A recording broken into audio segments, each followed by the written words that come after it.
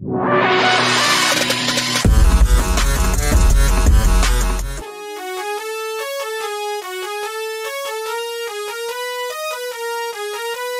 Atin nga pong balikan mga bro ang nangyari nga pong commotion sa Spider-Man issues sa Game 5 ng Best of 7 series between San Miguel Beerman at Magnolia Hotshots na kung saan hanggang ngayon ay pinag-uusapan pa rin ito. Naging hatima ng komento ng mga tao ukol dito, mayroong nagalit kay Spider-Man at mayroon din namang naka-appreciate ng ginawa nito. At sa pangyayari nga na yun mga bro, ay nasaktan nga itong si Junmar Fajardo na tinamaan sa panga nang makabanggaan niya itong si Spider-Man. At agad naman niya itong pinatawad after ng laro sa kanyang interview. Wala naman siyang intention siguro din sa mga so, kawalan mo ito niya. So, okay siya. Ngunit marami nga sa mga fans ang nagsasabi na arte nga lang daw ang pagbagsak nitong si Junmar Fajardo.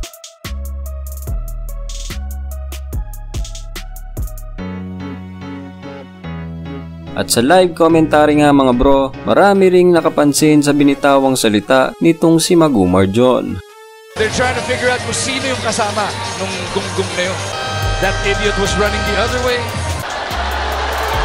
What an idiot. He actually hit Junmar. There's no place for anything like that. After pa nga noon, ay naglabas pa nga ito ng sama ng loob sa kanyang Twitter account.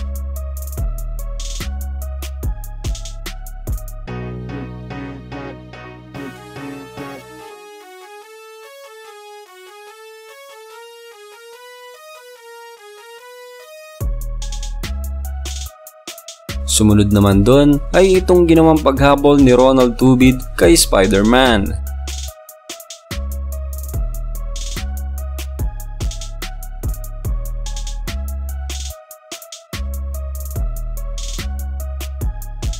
Sa pagsuntok nga nito kay Spider-Man ay humingi naman agad ng paumanhin nito. Nagawa niya lang daw yon dahil nang dilim ang kanyang paningin at as a veteran player nga daw mga bro ay kailangan niya nga daw ipagtanggol ang kanyang mga teammates sa ganong sitwasyon.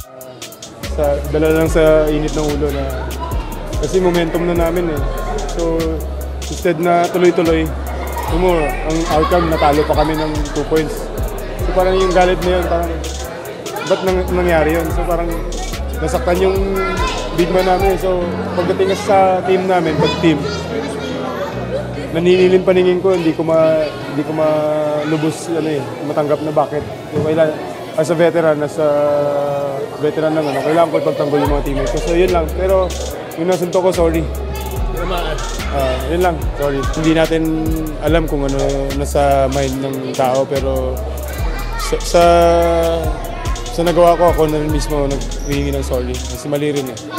So, if something wrong with his mind na ano, dapat I don't know kung sira ulo ba o ano, kailangan maintindihan eh. So, siguro yun. Ako mismo mag-sorry kaya nagawa ko. Dapat di ko ginawa. Ngayon ka lang ba nakaranas ng gano'n? Ah, marami na rin pero ah, kanina lang kasi parang ayoko lang makita na ginagawa ng teammate ko. Basta it comes to my team, ako unang tatalang. Pag may sinaktan sa team ko. Pwede ka ba tumpay sa atin Sakali lang. Na, nagawa ko eh.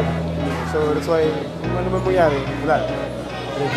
At after nga ng lahat ng yan mga bro, ayon sa spin.ph ay inuumpisahan ng araw ang pagkolekta ng mga videos sa nasabing commotion sa Game 5 ng All Filipino Cup Finals. Kabilang nga dito mga bro, ang pagsuntok kay Spider-Man, ang commotion sa bench ng San Miguel Beerman at ang live commentary sa television nitong si Magumar John. At after nga daw makita at marinig lahat ng mga videos and audios na kinakalap nila ngayon, ay ipapatawag nga raw ito ni Commissioner Willie Marshall lahat ng sangkot sa kanyang office upang ma-address nga daw at mabigyan ng pansin. Ano nga kaya ang mga ibibigay na kaparusahan sa mga nasabing involved sa Game 5 commotions? Pagsasabihan nga lang ba or talagang action na itong si Commissioner Marshall?